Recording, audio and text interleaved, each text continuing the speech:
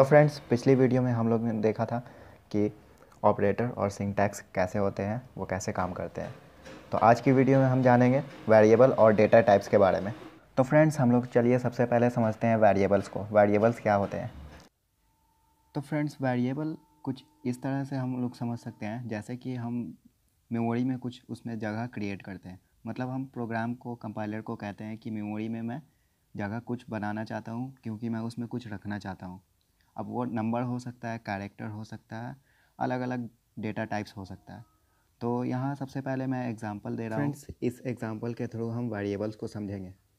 तो अज्यूम कीजिए कि मैंने एक वेरिएबल बनाया int button equal to three मतलब इसमें मैं कंपाइलर को कह रहा हूँ कि मेमोरी में एक ब्लॉक क्रिएट करो, एक जगह बनाओ, जिसमें मैं बटन नाम का एक वेरिएबल बना रहा हूँ, उसके अंदर मैं थ्री नंबर वैल्यू को इंटीजर वैल्यू को स्टोर कर रहा हूँ।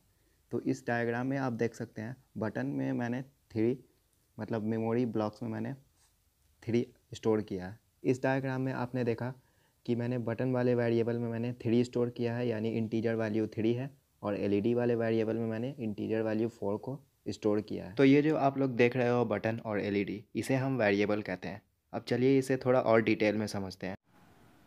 अब चलिए हम डेटा टाइप्स देखते हैं। तो हमने यहाँ बनाया था int button equal to three, int L E D equal to four. तो ये वेरिएबल हमने बनाया। अब इसके डेटा टाइप्स को देखते हैं।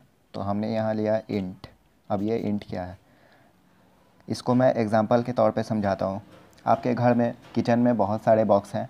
कोई आटे का है, कोई चावल का है, कोई शक्कर का है, कोई नमक का है, कोई तेल का है, और कोई पानी का भी होगा फ्रिज में। तो सबका अपना पार्टिकुलर बॉक्स है, उसमें आप कंटेनर में सामान रखते हैं। अब तो ऐसा तो नहीं है कि पानी वाले में आप आटा रख दोगे, या आटे वाले में आप पानी रख दोगे, ऐसा तो नहीं होता है, सबका अलग अलग तो उसी तरीके से हम वेरिएबल जब बनाते हैं तो उसमें हम वैल्यू जो स्टोर करते हैं तो उसका अलग अलग डेटा टाइप्स होता है। एज एग्ज़ाम्पल आप मान लो कि आप कुछ नंबर स्टोर करना चाहते हो तो नंबर स्टोर करने के लिए इंट इंट का मतलब होता है इंटीजर इंटीजर वैल्यू अगर स्टोर करना है तो हम लिखेंगे उसके सबसे पहले इंट उसके बाद वेरिएबल का नाम देंगे। यानी कि ये इस नाम से हमारा जो कंपाइलर है, जो प्रोग्राम है, वो समझेगा कि इसको कहाँ स्टोर करना है। तो ये मेमोरी को लोकेशन दे देगा। ठीक है? अब इसी तरीके से हम समझेंगे नेक्स्ट ये तो हो गया इंट अब हम समझते हैं बाइट बाइट में क्या होता है? बाइट में ये होगा कि जैसे हम बाइट लिखा तो आप यहाँ देख सकते हैं इसका सिंटैक्स हाईलाइट हो गया। अब इसमें होगा क्या? बाइट में बाइट जो है एट बिट नंबर को स्टोर करता है।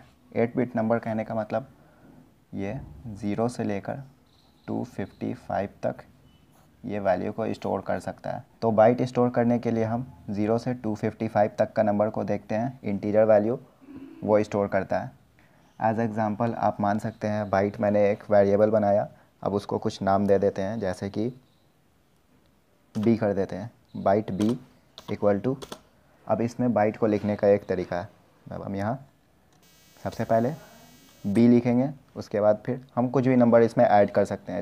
एज एग्ज़ाम्पल आप मान लो one one zero zero one zero one zero आप इसमें कुछ भी ऐड कर सकते हो। तो यहाँ से हम इसको सेमी कोलोन देकर इसके, इसको टर्मिनेट करते हैं। ठीक है? तो ये हो गया हमारा byte variable byte data types अब नेक्स्ट हम बढ़ते हैं। कैर यानी कि character C H A R char इसमें आप लोग देख सकते हैं कैर में एज एग्ज़ाम्पल आप मान लो जी ऐड करना चाहते हैं. एक नाम दे दिया वेरिएबल का जी या आप खुद का भी नाम दे सकते हो, जैसे मैं अपना नाम दे देता हूँ सैफ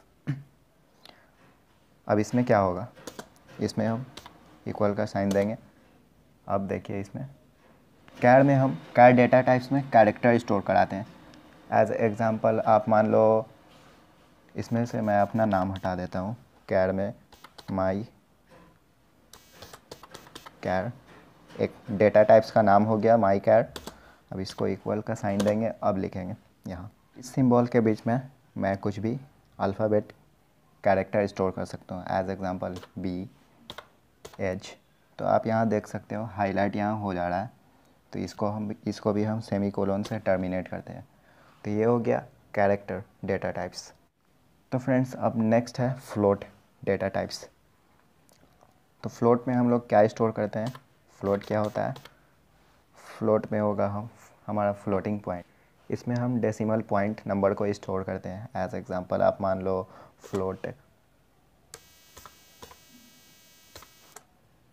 मैंने एक फ्लोट डेटा टाइप्स लिखा, उसका नाम दिया मैंने, एक वेरिएबल का नाम दे दिया। उस डेटा टाइप्स के वेरिएबल का नाम एफ़ एल टी इक्वल का साइन दूँगा मैं।